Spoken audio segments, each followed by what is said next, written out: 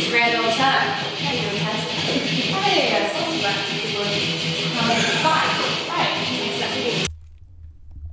Right, this is going to cover week one of the new block, so um, missed a few videos from this workout.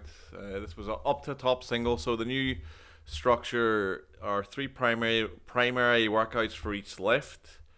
Up to a top single, so in this workout I went up to 190 RPE cap for squats five or six. RPE cap for benches six to seven. RPE cap for deadlifts probably five or six as well.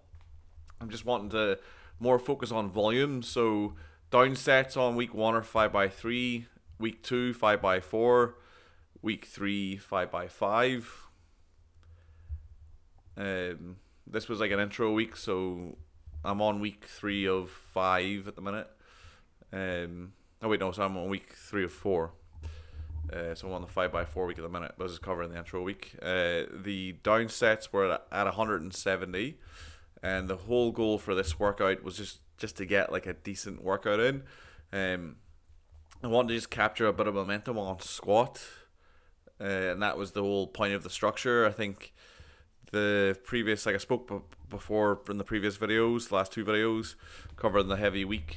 Um, I felt like I had a good block for both um, bench and deadlift. I think that mixed training worked fairly well but I'm just trying to get like um, I, I think I'm missing kind of like the volume stage of it.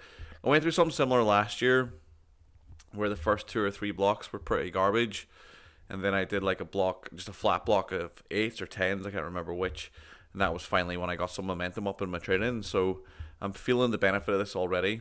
Um, this is belt squat, so this is what I've been doing on belt squat since removed belt squat from the program. I don't think I got anything from it, um, but I was doing two two zero I've just increased the volume of squat instead. I can recover from the volume of work on squat. I don't really need to focus so much on the assistance work.